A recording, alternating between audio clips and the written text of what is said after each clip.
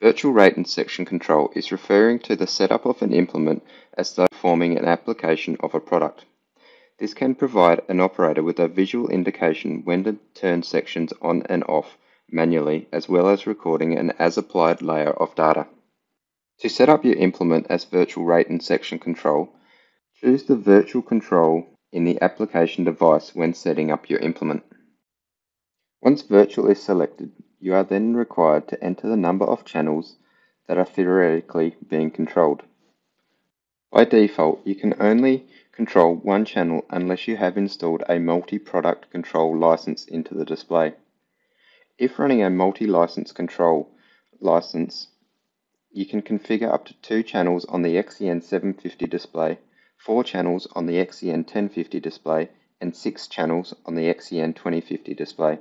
Enter the appropriate number of channels and press the arrow to move forward. Continue your implement setup as described in the basic implement setup tutorial until you reach the section Application Control. The Application Control page will be populated with the number of channels configured previously. You can press the Add button to add additional channels if required. Primary is referring to the channel that will be displayed by default on the run screen as the coverage layer. This is indicated by a yellow triangle in the primary column. The channel column is the default name given to that channel. This can be edited in our setup.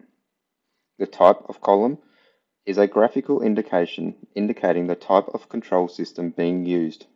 This will be indicated whether it's virtual, Isobus, Field IQ, or serial rate control. The ECU column will display the serial number of the ECU assigned to that channel.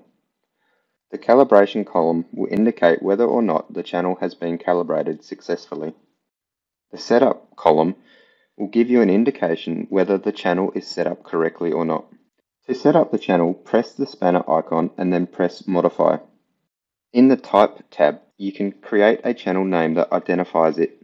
This name will be displayed on the run screen, so it's best to keep it short. The type of control is default to virtual rate control, as this is predefined earlier. Select the material type that is going to be used in this channel. The material type will determine some of the control settings available in the following setup screens, particularly when setting up Field IQ. Press the next arrow to move forward to the next page. In the Material tab, you can assign the material that is going to be applied. If no material is created in the material database, you can leave this section as incompleted and assign a material at a later date.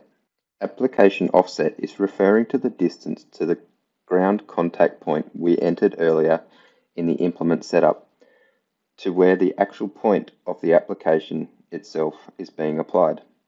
Application left-right offset is referring to the left or right offset from the center line of the implement application forward back offset is referring to the distance of the hitch to ground contact point. This value is a negative value if the application point is behind the ground contact point and a positive if forward of the ground contact point for that implement. Use the next arrow to continue the setup.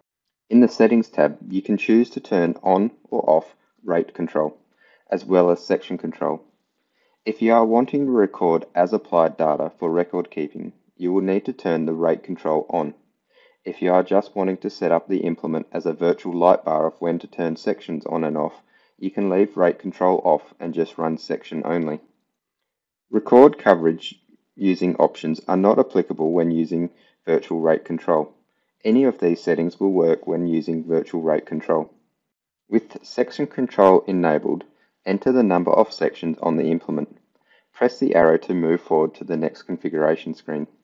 In the Width tab, you can specify the individual width of each individual section. Use the arrows left or right to move across different sections. Press the section to edit the value. Use the next arrow to move to the next configuration page when complete.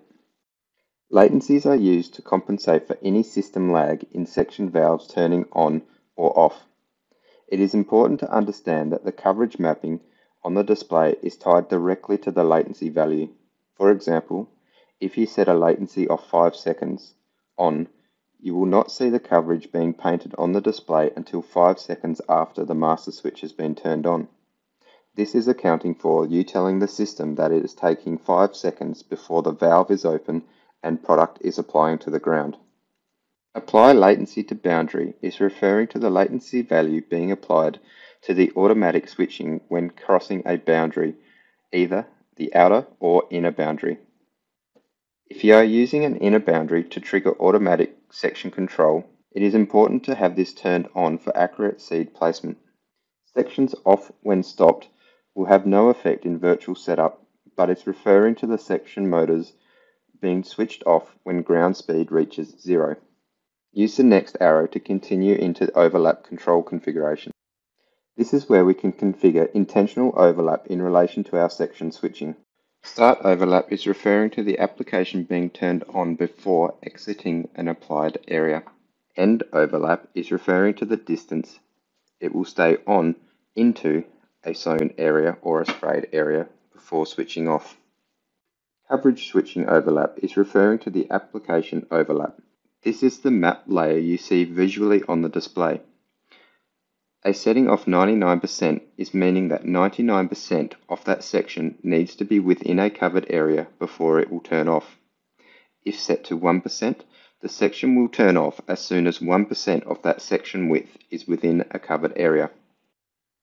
Boundary switching is referring to the amount of the application that needs to be over a boundary before it turns off.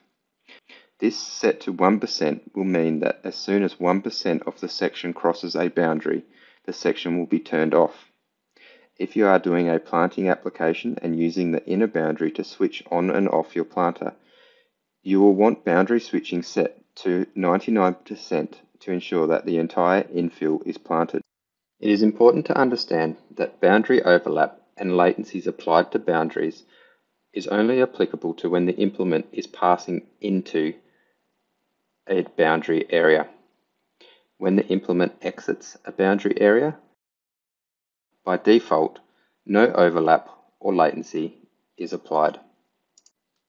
Press the next arrow to the summary page. Confirm the settings and either use the back arrow to edit or press the green tick to save your settings. You will now return to the application control page in the implement setup. If configured correctly, Setup should indicate complete. Press the arrow to the Inputs tab. In the Inputs tab, when setting up virtual channels, you have the option of connecting a remote logging switch to the expansion port of the display. This can be either an implement switch or a configured relay to open and close a circuit off a master switch of the original controller.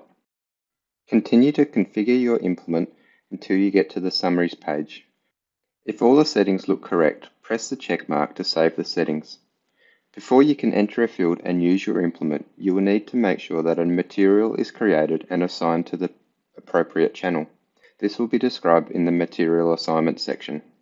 To use virtual rate and section control in the run screen, simply double tap to show or hide the controls. The coverage map you see on the display is represented by the primary channel that we selected earlier. If running more than one channel, you will see them displayed here. The current target rate is displayed here and the actual rate that is being recorded to the coverage layer will be displayed here. As this is virtual rate control, if you change the rate on your controller, you will also need to change the target rate on your display for accurate mapping. To do this, simply press the target rate of the channel you want to change and your screen will change to the controls panel for that particular channel. Simply use the plus and minus button to increase or decrease the target rate. The delta or difference between the target rate and the now specified rate will be displayed here. To quickly revert back to the original target rate, simply press this button. Your section status will be displayed here and simply touching one section will turn it on and off. Or driving over a covered area will give you a visual indication of when to turn them on and off. Setting to manual will mean that the sections will remain on regardless of whether you are going over a boundary or a covered area. To turn the sections on and off, you will need to touch them manually.